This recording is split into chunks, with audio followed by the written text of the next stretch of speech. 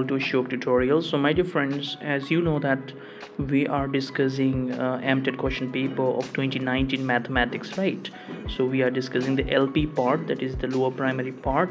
So in this video I will be you know explaining one question that is question number 65 of LP MTET 2019 alright? So let us see question number 65 so what does it say it says that a housewife needs mathematics for looking after her household activities.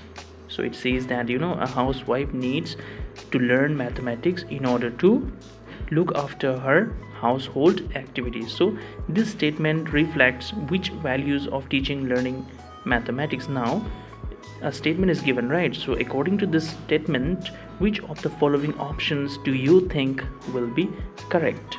So is this does it mean that uh, you know this statement reflects utilitarian value or disciplinary value or social value or option number D cultural value?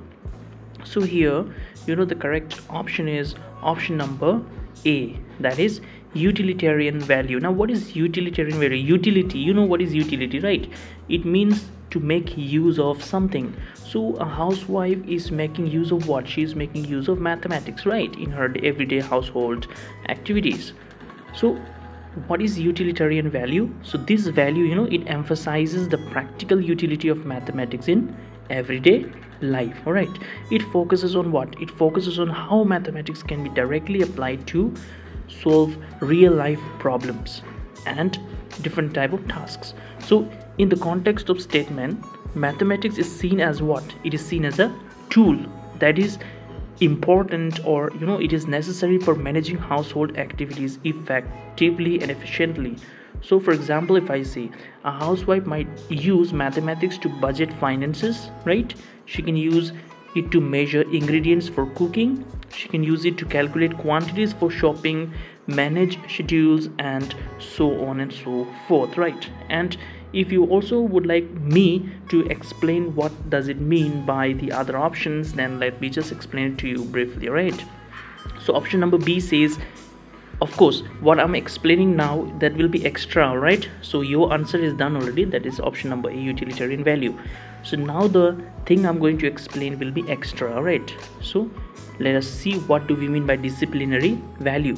So disciplinary value. This value you know it pertains to the intrinsic beauty and structure of mathematics itself as a field of study rather than its practical application. So you know it aids to aesthetic value of mathematics rather than being applied practically.